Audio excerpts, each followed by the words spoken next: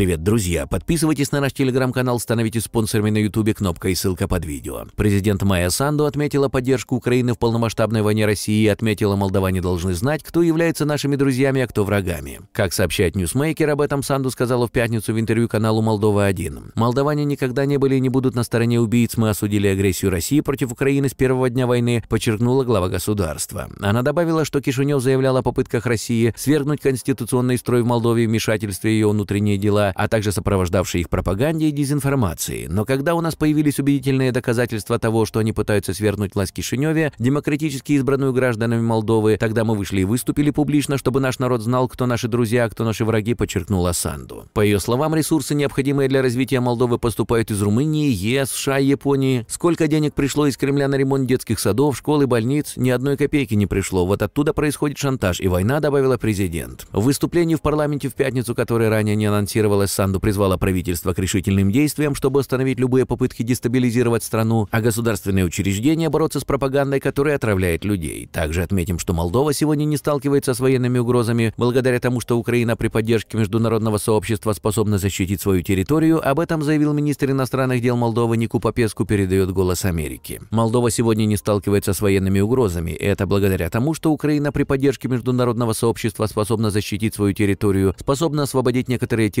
территории благодаря этому обеспечивает мир и стабильность в таких странах, как Молдова, не только, сказал Попеску. Министр обороны Молдовы сообщал, что Молдове в настоящее время не угрожает неизбежная военная опасность, но она является объектом гибридной войны, созданной Россией в попытке свернуть государственную власть. Проевропейская Молдова неоднократно обвиняла Москву в сговоре с целью насильственного свержения ее правительства с помощью диверсантов, замаскированных под антиправительственных демонстрантов. Некоторые медиа из Международного журналистского консорциума получили доступ к плану Кремля по установлению полного контроля над Молдовой согласно документам документу Россия намерена захватить власть в стране до 2030 года. Напомним, Соединенные Штаты считают, что лица, связанные с российской разведкой, планируют организовать протесты в Молдове с целью свержения власти и установления более пророссийского правительства. Об этом, как сообщает CNN, недавно заявили официальные представители Белого дома. Как следует из их слов, США считают, что Россия пытается ослабить молдавское правительство, которое стремится к более тесным связям с Европейским Союзом. Вашингтон также видит признаки того, что связанные с правительством РФ лица могут готовить антиправительственных демонстрантов в Молдове. Молдове. Американская сторона считает, что Россия способствует распространению дезинформации и стабильности в Молдове. Одним из примеров является заявление российского Минобороны о том, что Украина якобы планировала вторжение в Приднестровье. Чиновники США отметили, что эти обвинения являются необоснованными, ложными и создают безосновательную тревогу. Хотя CNN не называет имен своих собеседников, вопрос Молдовы на брифинге на прошлой неделе комментировал представитель Совета национальной безопасности Белого дома Джон Кирби, передает Блумберг. «Мы уверены в демократических и экономических институтах Молдовы и их способности реагировать реагировать на эти угрозы, и, конечно, мы продолжим оказывать надежную поддержку, заявил он, добавив, что США передали Молдове разведывательные данные о возможных беспорядках. Белый дом также пообещал наложить санкции на тех, кто связан с дестабилизирующей кампанией России в Молдове, и получить от Конгресса одобрение пакета энергетической помощи для Кишинева на сумму в 300 миллионов долларов. На этом я с вами прощаюсь. Подписывайтесь на наш канал, жмите на колокольчик, а также не забудьте написать свое мнение в комментариях. Теперь газета всегда с вами. До встречи.